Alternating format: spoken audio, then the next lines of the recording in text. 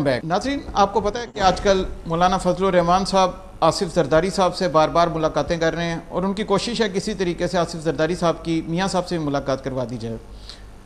اس سلسلے میں وہ کافی حد تک کامیاب بھی ہیں۔ کل کی بھی ان کی میٹنگ حالانکہ وہ بڑی ٹائٹ شیڈیول میں میٹنگ کی تھی آصف علی زرداری صاحب نے۔ پہلے وہ ان کو مل نہیں رہے تھے، لیکن پھر سیکنڈ ہاف میں ان کی میٹنگ طے ہوئی اور پھر زرداری صاحب نے مولانا فضل الرحمان سے ملاقات کی۔ یہ وہی مولانا فضل الرحمان ہے جنہوں نے پچھلے دنوں صدارتی انتخاب کے لیے ریکویسٹ کی تھی آصف علی زرداری صاحب سے کہ مجھے ووٹ دے دیں اور زرداری صاحب نے اپوزیشن کا متفقہ امیدوار نہیں لائے تھے بلکہ اپنا علیحدہ کینڈیڈیٹ لے لیا تھا۔ اب کیونکہ حالات بدل رہے ہیں اور چیزیں چینج ہوتی جا رہی ہیں تو زرداری صاحب نے بھی اب کہا ہے کہ میں میاں صاحب سے ملنے میں انٹرسٹیڈ ہوں۔ فواز صاحب، آپ کا کیا خیال ہے؟ اگر زرداری صاحب اور میاں صاحب کی ملاقات ہوتی ہے مولانا فضل الرحمان کے ریفرنس سے تو آپ کی گورنمنٹ کو کوئی خطرہ ہے؟ کیونکہ چند ایک سیٹوں کا فرق رہے گیا، آپ ابھی جو سیٹیں ہارے ہیں ضمنی انتخابات میں، تو اگر یہ آٹھ دس سیٹوں کا فرق نکل جائے، تو پھر تو آپ کی گورنمنٹ بھی وہ چینج کر سکتے ہیں۔ جی بالکل ایسا ہے۔ میں سمجھتا ہوں کہ پاکستان تحریک انصاف کی گورنمنٹ کا یہ ڈے ون سے، بلکہ پاکستان تحریک انصاف کی، پاکستان تحریک انصاف بنی ہی اس بات کے لیے تھی کہ وہ چوروں لٹیروں کو پکڑے اور ان کا احتساب کرے۔ ہمارا بنیادی نعرہ بھی یہی تھا کہ انصاف کی جنگ ہو اور عوام کو اس کے فنڈامنٹل رائٹس ملیں۔ جن لوگوں نے ان کی لوٹی ہوئی دولت ملک سے باہر لے کے گئے ہیں ان کو پکڑا جائے۔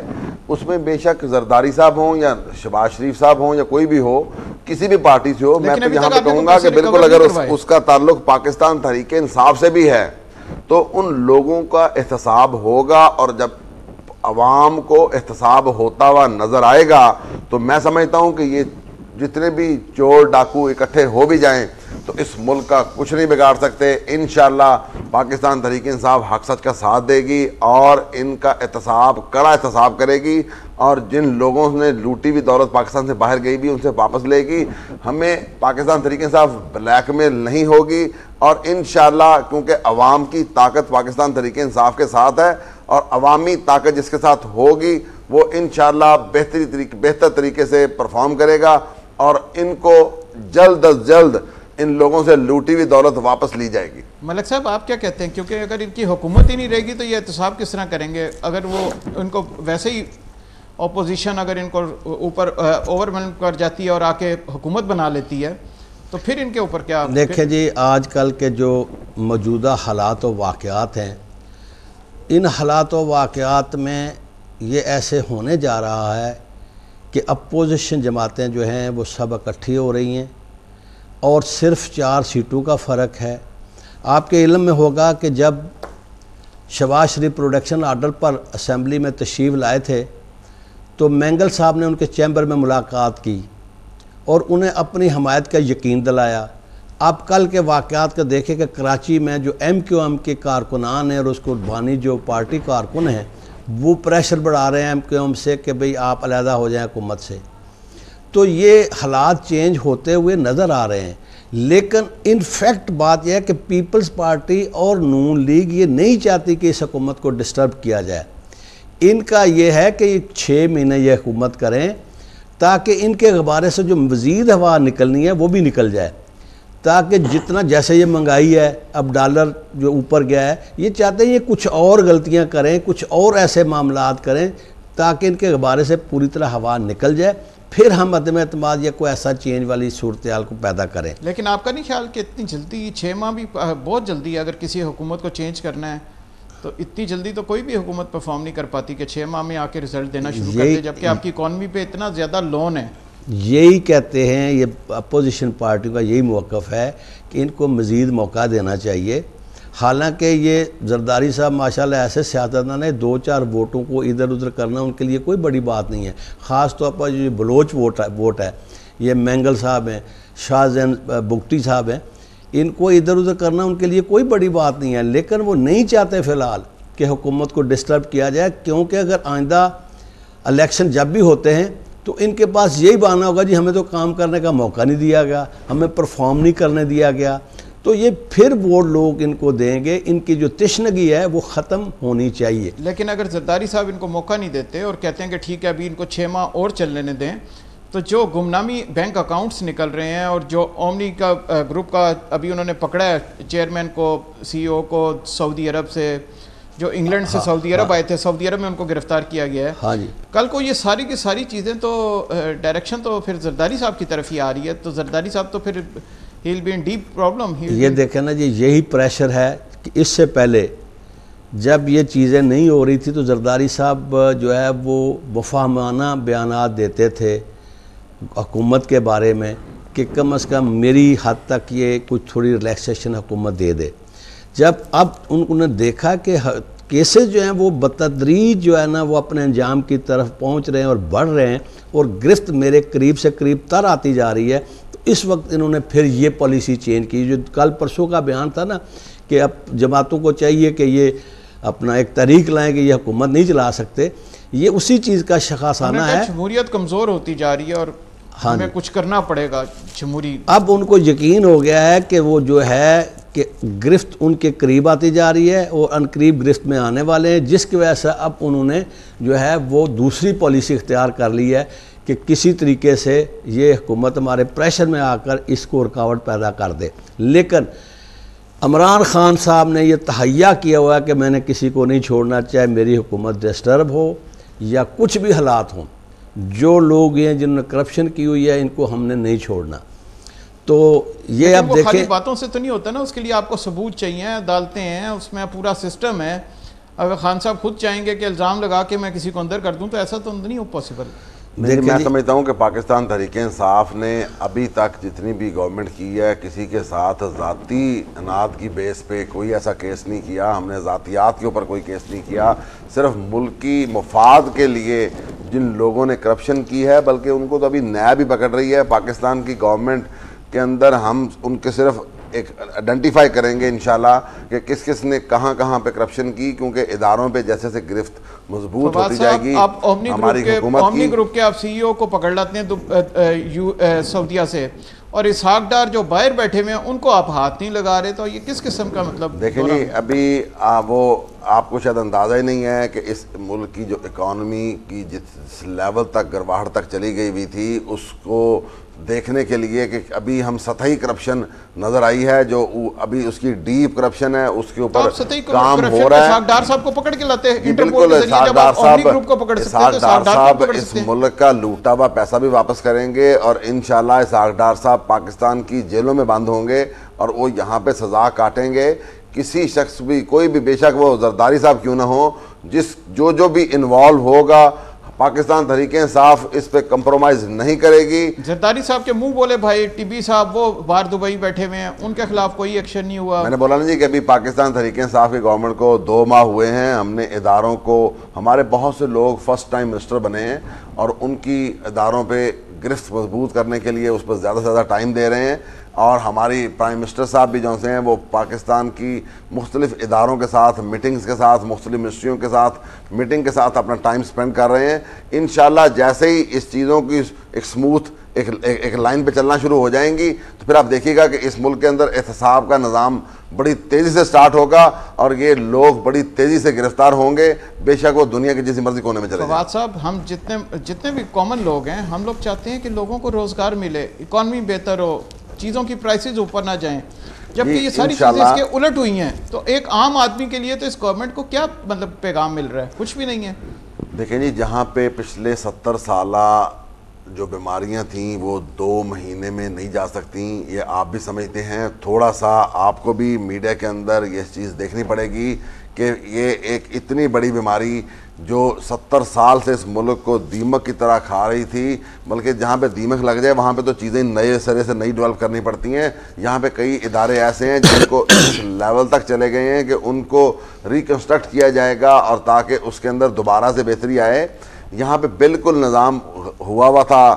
آوے کا آبا بگڑا ہوا تھا۔ انشاءاللہ چیزوں کے اوپر گرفت مضبوط کر لی ہے۔ پاکستان تحریک انصاف نے ان دو مہینوں کے اندر یہی کام کیا ہے۔ بے شک میڈیا میڈیا اوپن ہے، میڈیا بالکل آزاد ہے۔ جس طرح مزید تنقید کرے، ہم اس تنقید کو سننے کے لیے تیار ہیں اور ان کا اس تنقید کو مثبت لیتے ہیں۔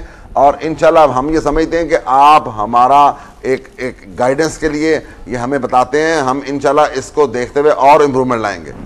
ملک صاحب ناظرین کو ذرا یہ بھی بتائیے کہ سی پیک جس کو کہا گیا تھا کہ پاکستان کے لیے ایک ریڈ کی ہٹی ہے اور بہت بڑا پروجیکٹ ہے، اور اس وقت کہا گیا تھا کہ یہ چائنا کی طرف سے، اس وقت نہیں بتایا گیا تھا کہ یہ لون ہے، اس وقت تو کہا گیا تھا انویسٹمنٹ ہے۔ اور آج آ کے خان صاحب کہہ رہے ہیں کہ میں اس کو ری وزٹ کروں گا، جب چائنا جاؤں گا میں ان سے ڈسکس کروں گا۔ آپ اس پہ کیا خیال، عوام کو کیا بتانا چاہیں گے کہ کیا پرابلم ہے اس میں؟ دیکھیں جی کہ یہ جو سی پیک ہے، یہ پاکستان کے ریڑھ کی ہڈی ہے۔ اور میں سمجھتا ہوں کہ اس کے اوپر کوئی کمپرومائز نہیں ہونا چاہیے۔ جب سے طریق انصاف اقدار میں آئی ہے، انہوں نے کئی متضاد اور مختلف بیانات دیے، ہم اس کو ری وزٹ کریں گے، اس کو ریکنسیڈر کریں گے، وغیرہ وغیرہ۔ چائنا ہمارا ایسا دوست ہے جس نے ہر کڑے وقت میں ہمارا ساتھ دیا، ہر مشکل میں ہمارا ساتھ دیا اور بہت ساری سرمایہ کاری یہاں پر کی ہے۔ لیکن اس کو متنازعہ نہیں بنانا چاہیے۔ چائنا کی حد تک اس کو کبھی کمپرومائز نہیں کرنا چاہیے کسی صورت اس کو متنازعہ نہیں بنانا چاہیے یہ CPEC one belt one road یہ جتنا انیشیٹو ہے چائنا نے باقی ملکوں کے اندر خود انویسٹمنٹ کر کے بنائی ہے۔ پاکستان اس کا واحد ملک ہے جو دوست ہے جس کو اس نے لون دیا ہے چھتالیس ارب ڈالر تو اب یہ لون کو واپس جب کرنا پڑے گا تو ہمارے لیے مشکل ہو جائے گی۔ پھر یہ لون ایسے نہیں دیا گیا۔ سوورن گارنٹی کے اوپر سات پرسنٹ انشورنس گارنٹی پاکستان نے دی ہوئی ہے، جو کہ دنیا میں کہیں نہیں ہوتا کہ سات پرسنٹ انشورنس گارنٹی دی جائے، کیونکہ آپ کی وہ سوورن گارنٹیز کو ایکسیپٹ نہیں کر رہے تھے۔ تو آپ کو ان چیزوں کو ری وزٹ تو کرنا پڑے گا اب اتنے ہائی ریٹس کے اوپر، جس کے اوپر انٹرسٹ ریٹ بھی ان کا بہت زیادہ ہے۔ بعض جگہ پہ انہوں نے چار پرسنٹ انٹرسٹ رکھا ہوا ہے بعض جگہ پہ سات پرسنٹ انٹرسٹ ریٹ ہے جو یہ سارا کیا دھرا نون لیگ کا نا جی یہ نون لیگ کا کیا دھرا ہے نون لیگ نے ساری یہ بالکل آپ نے مطلب اچھا کیا کہ آپ نے دنیا کے بتایا۔ اندر سی پیک کی one belt one road initiative کے تحت انہوں نے خود سڑکیں بنائی ہاں ہیں جی۔ اور ہمارے ہاں وہ جو سڑک بنا رہے ہیں اس کے اوپر ہمیں لون دے دیا ہے۔ اور لون دینے کے بعد انٹرسٹ ریٹ ہائی رکھا ہے انشورنس ریٹ ہائی رکھا ہے۔ نہ صرف یہ اس کے بعد ہماری جو ادھر ٹریفک موو کرے گی یا تو چائنا کہتا کہ میں اتنی ٹریفک موو کروں گا۔ ہماری ٹریفک جس حساب سے موو کرے گی، وہ تو دو سو سال میں بھی ہم پیسہ نہیں دے سکتے۔ تو ہم کس طرح یہ سی پیک کو کہہ دیں گے، یہ ہمارے مفاد میں ہے؟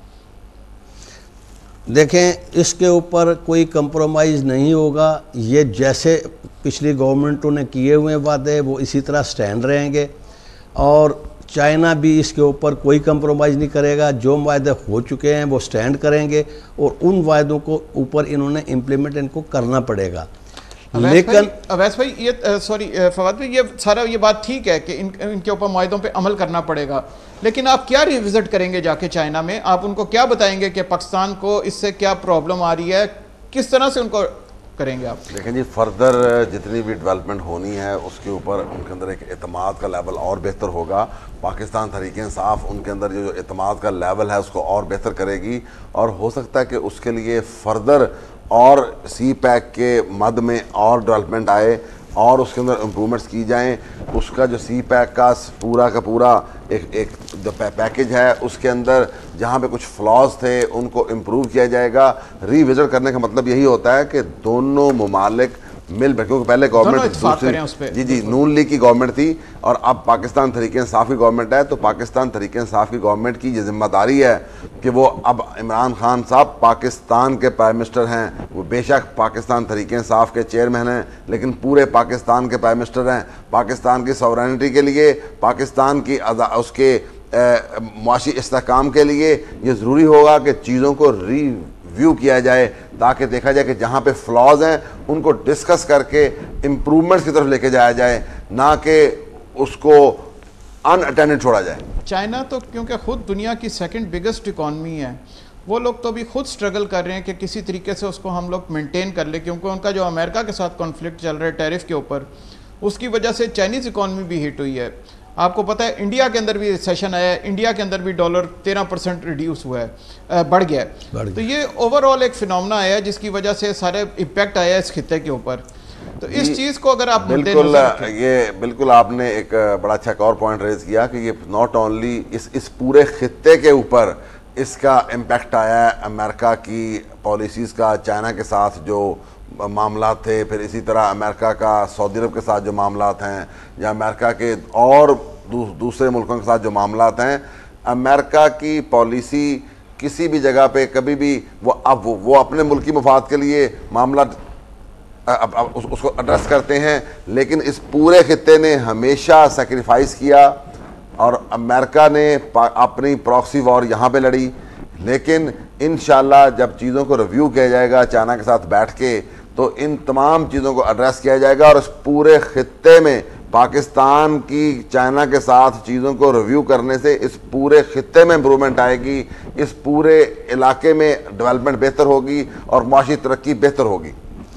ملک صاحب، آپ کیا کہتے ہیں کہ اس سے کیا خطے میں کوئی امپرومنٹ آئے گی؟ کیونکہ کانفلکٹ تو چل رہا ہے۔ چائنا اور امریکہ کا ٹریڈ کے اوپر کافی کانفلکٹ ہے۔ ٹیرف جو امریکہ نے ان کے ریز کیے ہیں، اسی طرح چائنا نے ان کی پروڈکٹ سے اوپر ٹیرف ریز کر دی ہیں۔ اور ان دونوں کا بزنس اس سے ہرٹ ہوا ہے۔ دیکھیں جی اصل میں تو بات جو ہے کہ پوری دنیا میں جانا تبدیلی آ رہی ہے۔ پوری دنیا میں ورلڈ میں تبدیلی آ رہی ہے۔ اور یہ چیزیں معاملات ایسے نہیں چلیں گے۔ امریکہ ادھر رشیا ہے، وہ ایک اس کے اور امریکہ کی جو ہے نا آپس میں ٹسل چل رہی ہے۔ چائنا جو ہے وہ خود سپر پاور پاور بننے جا رہا ہے۔ تو یہ عالمی حالات چینج ہونے ضروری ہیں اور ہوں گے۔ اگر آپ اپنے بزرگوں کی پیش گوئیاں پڑھیں۔ حضرت نعمت اللہ شاہ ولی تھے، بڑے بزرگ ہوئے ہیں کشمیر کے آٹھ سو سال پہلے انہوں نے پیش گوئی کی تھی۔ اس سارے خطے کے حالات انہیں بتا دیے تھے کہ کیا کیا ہونے جا رہا ہے۔ اور آٹھ سو سال قبل کی ساری پیش گوئیاں جو ہے نا، ان کی درست ثابت ہوئی ہیں۔ اور ان کی پیش گوئی کے مطابق اس سارے خطے میں بالکل یکسر تبدیلی ہونی ناگزیر ہے۔ اور امریکہ جو ہے یہ ایک وقت ایسا آئے گا کہ اس کی حکومت دنیا میں ایک نقطے کی ماند رہ جائے گی۔ یہ جو رشیا ہے چائنا ہے اور یہ ادھر ترکی ہے اس میں پاکستان کا کوئی کردار ہے ایران ہے یہ ایک بلاک بننے جا رہا ہے۔ اور امریکہ کی سپرمیسی ختم ہونے جا رہی ہے اور اس کو ختم ہونا ہی ہے۔ فواد صاحب یہ بتائیے گا کہ جو ابھی آپ کا سوئی گیس کا معاہدہ ہوا ہے رشیا کے ساتھ نائن بلین ڈالر کا اس سے آپ نے کہا ہے کہ بڑی سستی گیس مل رہی ہے۔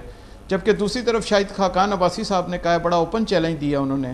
انہوں نے کہا اگر ایل این جی کا جو ٹھیکہ میں لے کے آیا تھا اگر وہ مہنگا ہے تو میرے ساتھ آ کے کسی بھی جگہ پہ آپ لوگ مناظرہ کر لیں۔ اور اگر میں غلط ہوں مجھے مجھے گرفتار کر لیں۔ اگر یہ لوگ غلط ہیں تو ان کو گرفتار کر لیں۔ اگر وہ اتنا کانفیڈنٹ ہیں اور وہ کہہ رہے ہیں انہوں نے کہا کہ فورٹی ٹو سینٹ پر بی ٹی یو وہ لے کے آئے ہیں ایل این پی جی جبکہ انڈیا کے اندر بھی وہ ون ڈالر کی کاسٹ ہے۔ دیکھیں جی ایل این جی کے اوپر جتنے بھی معاملات ہوئے گورنمنٹ نے کیے، اس کے اوپر بھی ابھی چل رہی ہے کمپلیٹ ریسرچ چل رہی ہے کہ وہ کیا کیا، کہاں کہاں پہ کیا فلاؤ تھا۔ بالکل ایسا ہوگا جی یہ شاہ خان عباسی صاحب کو کہنے کی ضرورت نہیں ہے۔ انشاءاللہ جو بھی کرپٹ اناسز ہوں گے ان کو ان کا احتساب ہوگا وہ بے شک شاہ خان عباسی صاحب ہیں تو ان کو بھی اس کا جواب دینا پڑے گا۔ یہ کوئی ایسا نہیں ہے یہ کوئی سیاسی ڈائلاگ نہیں ہے۔ کیا ہوا تو پھر تو آپ اپریشیٹ کریں گے جی بالکل اگر بہتر ہوگا تو بالکل اپریشیٹ کریں گے۔ ہم ہمیشہ جو اچھی کام ہے ان کو اپریشیٹ کرتے رہے ہیں اور آئندہ بھی کرتے رہیں گے۔